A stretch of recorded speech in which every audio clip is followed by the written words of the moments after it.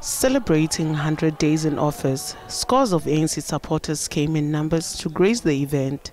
The 7th administration giving back a report to ANC supporters.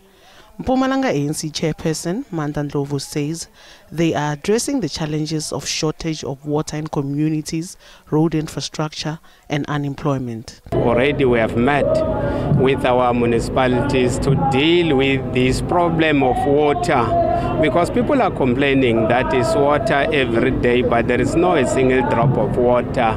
We have agreed with our municipalities that we must spend more than 80% of our allocation on water. We also agreed that uh, we have got a problem of our roads here in the province. We said that we are going to establish a team.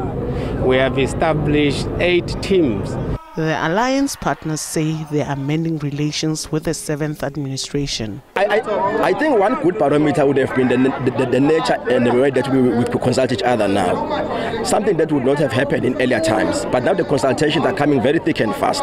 Even if before we go to consult the government department in themselves, but there would have been that synergy between ourselves and the ANC itself. So that as and when the ANC has an opportunity to talk to their employees, they know what exactly and what is that, that we feel. In recent times, there would have been indications that um, there would have been um, reshuffle that needed to be done here and there. Even though some of us may not have been excited on the onset, but the nature and the depth of the consultation made everything easy. I doubt that had it been the earlier times would have been where we are today.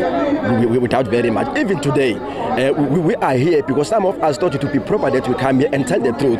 And the truth is that much as we have been having problems in recent times, but now we are moving to the very, very good direction. The residents of Nkomazi are hoping that their service delivery challenges will be addressed. Yeah, ever since I took office, I'm happy about seeing many of our MECs, mayors, um, well, particularly MECs, uh, hitting the ground running. We've seen them go to old age homes, to homes, handing out um, uh, necessities. Um, we've seen the, the premier going on the ground. You know, this thing of roads is a problem in our communities. So we've seen roads being patched.